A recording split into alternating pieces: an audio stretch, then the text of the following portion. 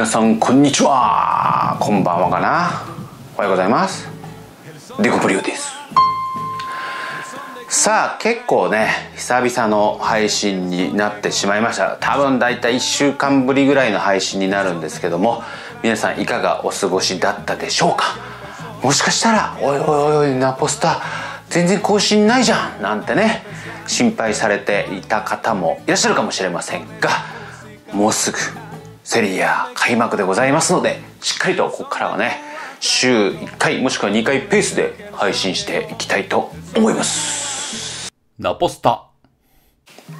そして毎回恒例のチャンネル登録者数の発表をしたいと思います。前回は120何人だったと思うんですけどもそこから1週間経って現在のチャンネル登録者数は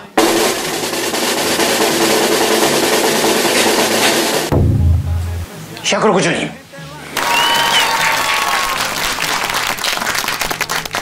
素晴らしい数字。いやー120何人から160人までいったんでこの間ね100人いったばっかりだと思ったんですけども200人が見えてきております。ここから。ねセリアも開幕しますんで。どんどんどんどん新規のナポリファンも増やしていきたいなと思っております。ナポスタ。さあそしてね今日は何を配信するかというと今週の日曜日にパルマ対ナポリ、えー、夜のですねこっちの日本の時間で7時半という非常にありがたい時間帯見やすい時間帯で、えー、ナポリのカンピオナートがスタートいたしますダゾンの番組表がねもう全然セリアの情報が出てなかったんでまさか一節ないのとかここに来てスカパー撤退したって言ってたけど何かあったんじゃないのとか皆さんねご心配されたと思うんですけども昨日無事、えー、番組表更新されまして DAZN で日曜日の7時半からアウェーのパルマ戦やりますのでパルマ戦の事前情報をちょっとねお伝えしたいなと思っております。昨シーズンね前の動画でナポリの勝ち点を予想した時に昨シーズンの成績をね全チーム発表したんですけどもパルマなんとねホームでもアウェーでも1対2で負けております。なんとパルマ戦は2連敗。なので勝ち点を6パルマに上げたと。いうですね昨シーズンはひどい内容でした。でね先ほど僕も改めて、えー、YouTube のセリエAのチャンネルでナポリ・パルマパルマ・ナポリ、うん、両方ダイジェスト見てみました。改めて。そしたらうん結構ねひどい内容 PK も取られてるし結構裏もバンバン取られてると。でガットゥーゾ監督の初戦がね、えー、パルマ戦だったんですけどもそれも負けてあの帰ってきてもまた負けるという散々の結果でございましたのでここはね初戦アウェーですけど絶対に取らなければいけない試合。引き分けでもダメ。絶対勝たなきゃいけない試合です。はい。概要欄の方にセリアのダイジェストパルマ戦のダイジェスト昨シーズンのダイジェスト貼っておきますのでぜひねあの日曜日の前に皆さん見てみてください。こうね悔しさがねふつふつとねまた湧いてきますんで。ねそれを見てねみんな一丸となって応援しましょう。ナポスタ。で今シーズンのパルマの情報をお伝えいたします。ちょっとね携帯で、えー、 Gazzetta dello Sport の情報でちょっと皆さんにねお伝えしたいと思いますパルマ監督が変わりました。リベラーニになったと。いうことで新しい監督の初戦。チャンス、えー、非常にね難しい試合だと思います。パルマから見た場合監督が変わった初戦。このコロナもあって準備期間もない。こういういろんなね難しい状況の中でナポリはね対戦するわけですからぜひね勝っておきたいなと思います。パルマ今シーズンのパルマを語る上で絶対に欠かせない情報。監督もねもちろん変わったんですけどもこの選手クルセフスキクルセフスキこの選手がねゆうべに行ったんですよ。で昨シーズンのナポリもこの選手にやられましたね。皆さん覚えてると思います。もうぶち抜かれてね。点決められてます。このクルセフスキが今のパルマにはいません。これねかなり大きい戦力ダウンで例えば、えー、昨シーズン、えー、クルセフスキーは10ゴールそして8アシスト。もう彼のチームだと言っても過言ではないぐらい中心選手が優位に行ってしまったと。いうことなので得点力は大幅に下がったのではないかなと思います。得失点差マイナス1昨シーズン。そんなチームですのでこの10得点8アシストがなくなるっていうのはねかなり厳しいんじゃないかなと思います。そしてガゼッタ・デ・ロスポルトで今シーズンのフォーメーションを予想してますのでこちらご覧ください。ね433のフォーメーションでいくんではないかという予想があります。キーパーセペ。このセッペはねもともとナポリの選手ですからレンタルで行ってて多分ね買い取りで買ったんだと思うんです。もしかしたらそのままレンタルかもしれない。多分パルマはナポリから買ったと思います。そしてもう一人元ナポリの選手がイングレーゼ。このイングレーゼはレンタルで出していたんですけど今どうなってるのかな。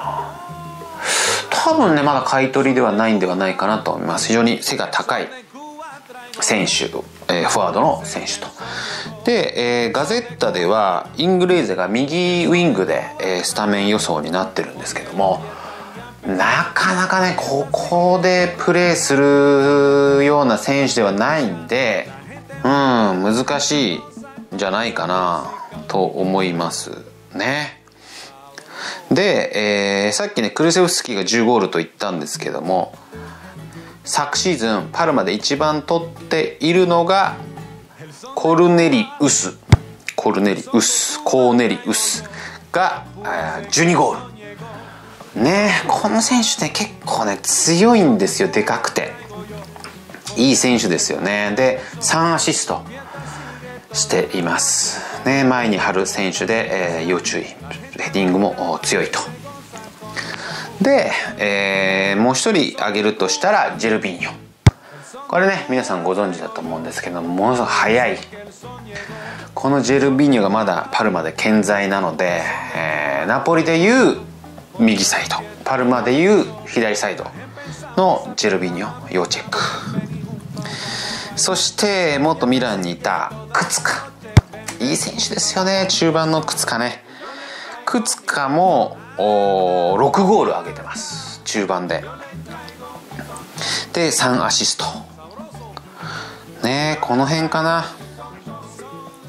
この辺がやっぱり、えー、強いですよね。で昨シーズンも結構カウンターで裏取られて、えー、やられてる場面だったのでこの辺りの速さ怖いですよね。ただ右サイドで出ていたクルセフスキがイングレーゼ、まあね、当日どのどの選手なのか分かりませんけどもガゼットの予想だったイングレーゼになってるんでここはあんまカウンターが怖くない。正直言うと。うん。かな。そしてねパルマにはねブルーノ・アウベス。ポルトガルの。まだやってんのっていい選手ですよね。ポルトガルのキャップも長い、えー、ブルーノ・アウベスがセンターバックで君臨しています。そして右サイドのマッテオ・ダルミアン。ねいまいちね、えー、伸びなかった。伸びきれてない選手ですけどもダルミアンも右サイドバックでいます。インテルにね行くなんていう噂もありましたけどもまだパルマの選手でございます。もしかしたら移籍するかもしれないけどもどうかなどうでしょう？というのがパルマの注目選手。監督が変わっているのでサッカーが変わるかもしれませんが大きくね、え内容は変わらないんではないかなと思います。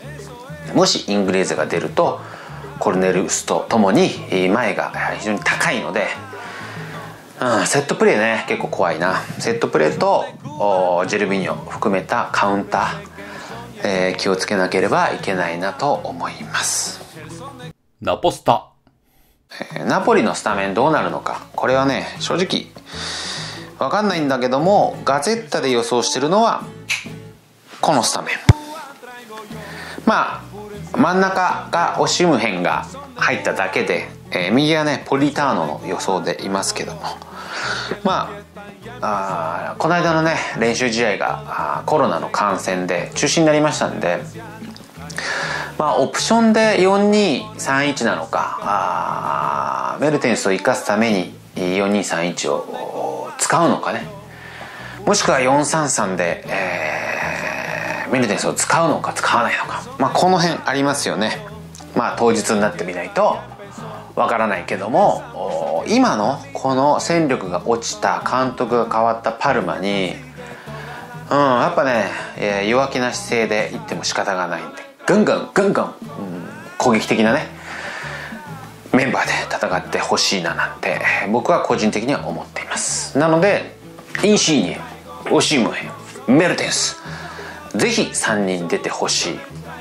なので4231だったらあ、まあ、2トップ気味トップ下にメルテンスが入って右にポリターノかもしくは結構今年期待できそうなロザーノ